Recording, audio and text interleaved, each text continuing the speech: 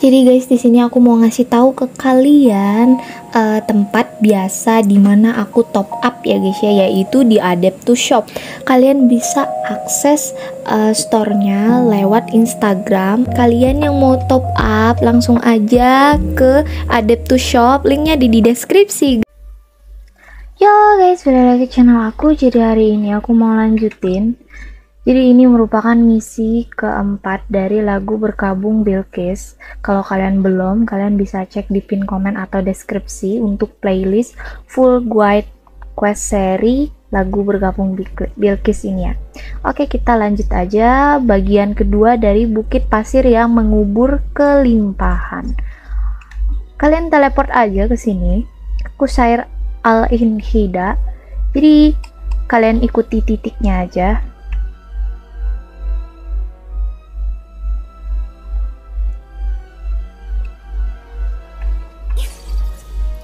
jangan lupa gadgetnya kalian pakai ya guys ya di Lopar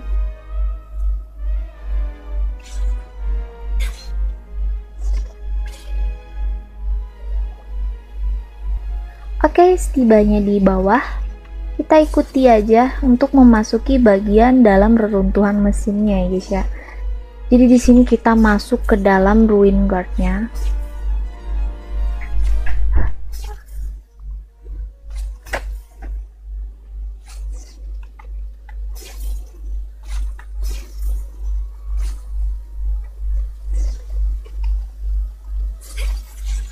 Ini kita buka dulu pintu kabinnya. Jangan lupa ambil permatanya yang tadi aku ambil permata kuning. Lalu kita letakkan di sini. Jadi ada butuh tiga permata ya guys ya. Oke yang satu ada di sebelah kiri. Kita letakkan di satunya Oke, satunya lagi. Nah, ada di sebelah kanannya. Kita letakkan. Oke, jadi ada total tiga permata ya guys ya. Kita berhasil buka. Oke, di sini kita ambil dulu yang ada di tengah. Oke, cutscene dulu ya guys ya. Kita ambil permata yang ada di tengah ini lalu kita ke sebelah kanan. Jadi di kanan ini kita letakkan satu permata maka akan terbuka pintunya. Kita ambil yang di dalam lalu kita ambil lagi yang kita letakkan tadi. Jadi totalnya itu ada dua. Keduanya kita taruh di dalam sini guys kita ambil di dalam lalu kita ambil lagi tiga permata ya totalnya.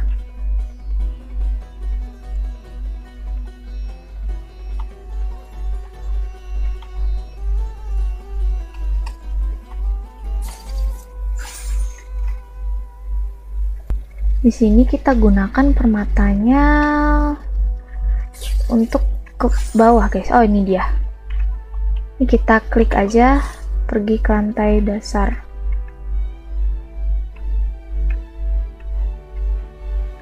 Oke. Oke, setibanya di bawah ya guys ya. Di sini ada tiga titik, kita taruh masing-masing permata di ketiga titik atau pilarnya ya guys ya. Oke setelah itu kita bisa masuk ke kabin kontrol. Kita naik lagi ke lantai atas.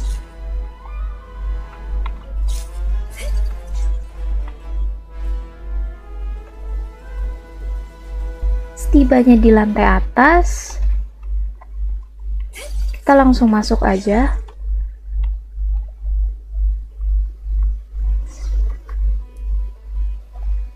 Setelah itu kalian aktifkan mesinnya.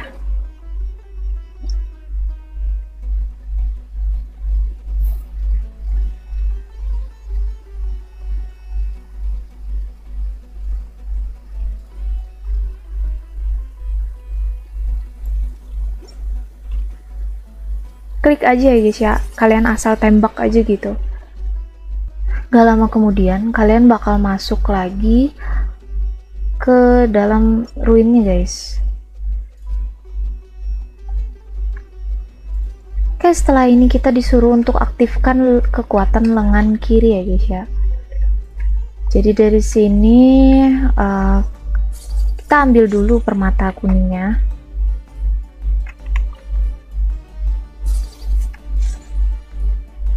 Kita letakkan di sini. Di pilar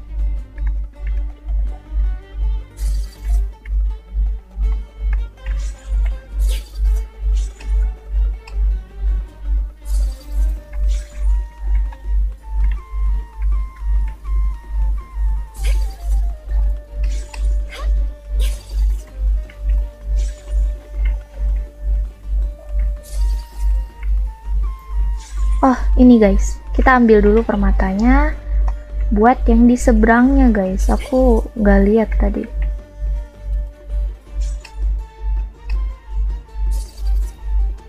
Oke kita letakkan. Balik lagi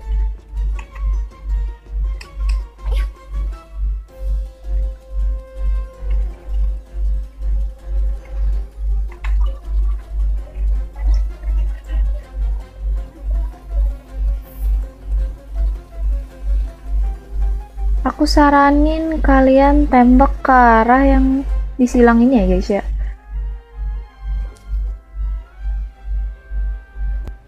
Oke setelah kita tembak tadi ya bukan tembak sih kita tinju maka ada gua yang terbuka kita ikuti aja titiknya dari ruang kontrol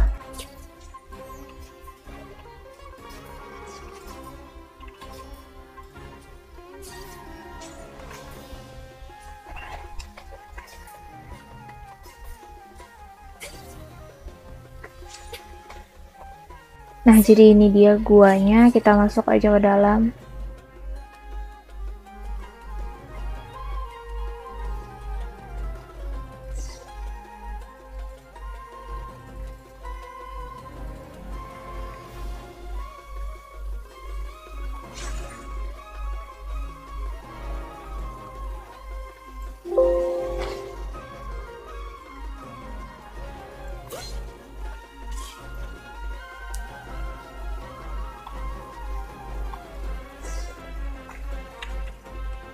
Oke, segelnya kebuka jadi kita bisa langsung aktifkan aja guys.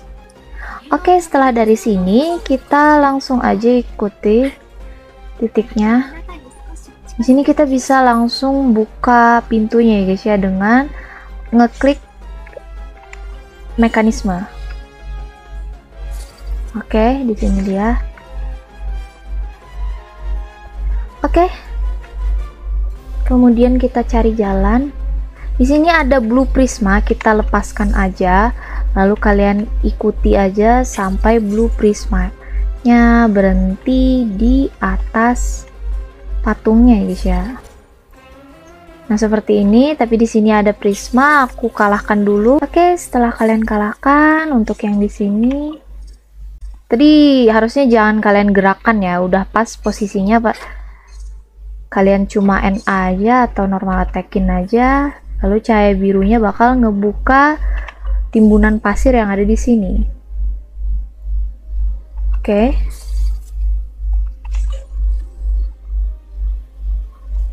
Oke, setelah kita interaksi, di sini kalian bisa lihat di sana ada kipas yang masih menyala. Kita matiin aja dengan cara ngeklik tutup di mekanisme satu ini lalu kita lanjut bawa pulang blue prismanya.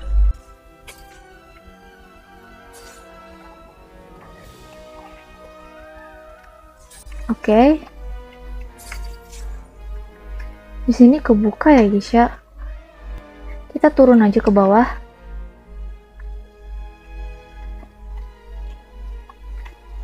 Di sini kita buka pintunya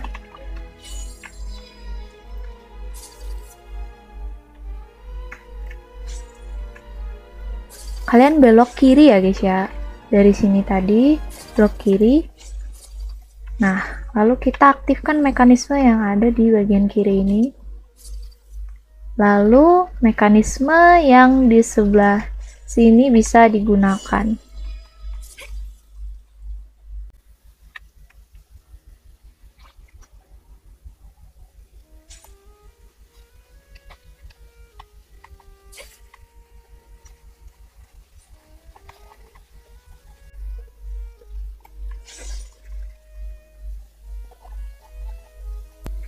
Oke, di sini kita Oke, di sini uh, kita disuruh untuk menghubungkan, tapi bendanya rusak, jadi kita maju aja, masuk. Lalu untuk mekanisme yang ini, kalian gerakin aja. Kalau misalkan cahaya birunya nggak arah samping seperti punya aku tadi, nih, kalian normal attackin aja.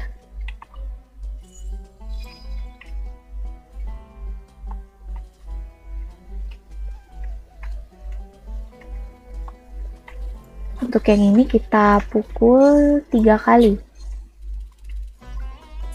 Dan yang ini kita pukul dua kali. Oke, kita putar katupnya. Oke, setelah selesai yang di sini, kita balik lagi, lalu belok kanan.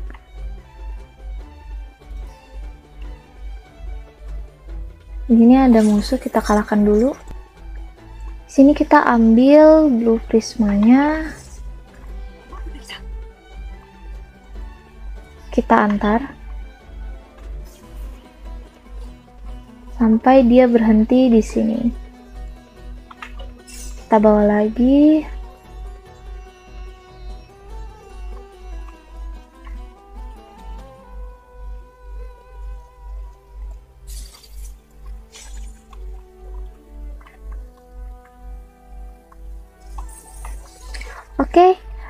blue prismanya udah masuk dan kita bisa aktifkan mekanisme yang tadinya rusak ya guys ya. Oke, setelah itu kita lanjut. Jadi di sini kita bisa progress untuk telusuri lebih dalam ya guys ya. Dan di sini juga ada teleport. Kalian aktifin aja.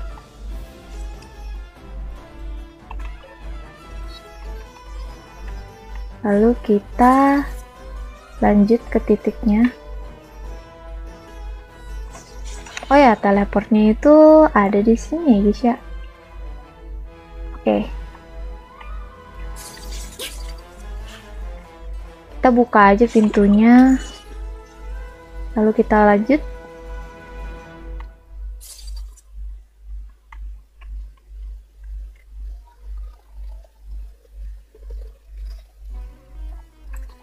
Oke, di sini ada blue prisma. Aku antar dulu.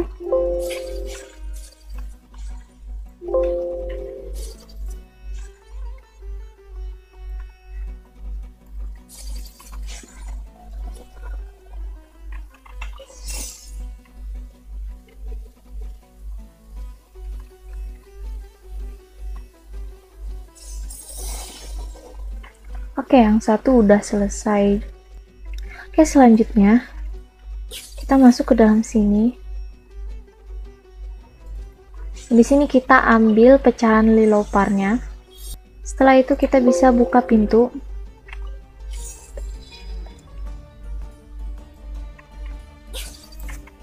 Di sini kalian putar selnya sekali. Oke, kita ambil blue prismanya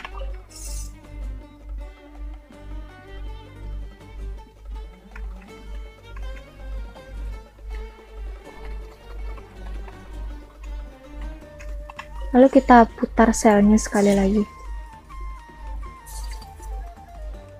Maka kipasnya akan mati. Lalu kita antar lagi lanjut ya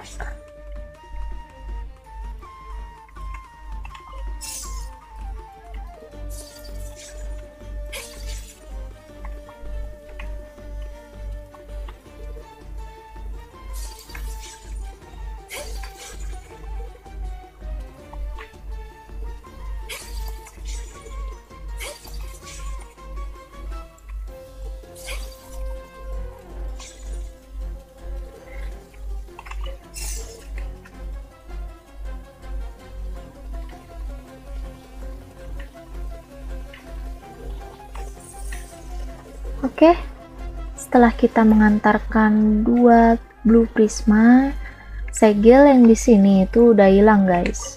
Jadi kita bisa aktifkan dan kita bisa lanjut ke dalam damavannya.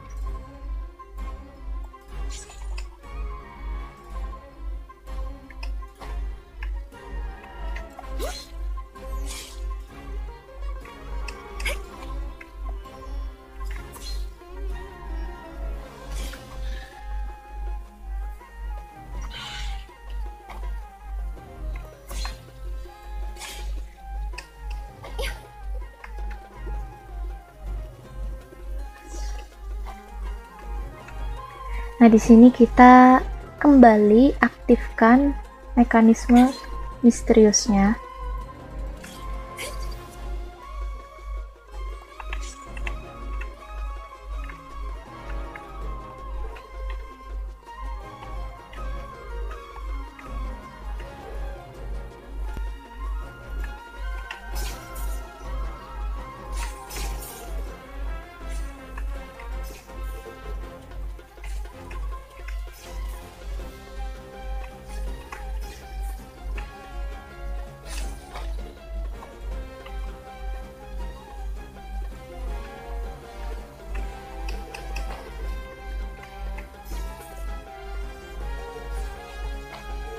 Oke, ternyata ada di atas ya guys ya. Nah, ini dia.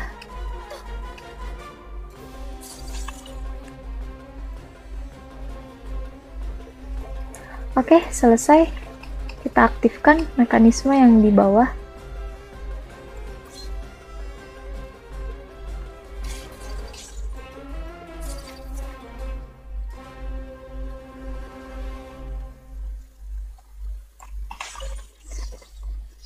Lalu kita kalahkan semua monster. Oke, setelah kalian mengalahkannya, kita pergi ke pintu keluar.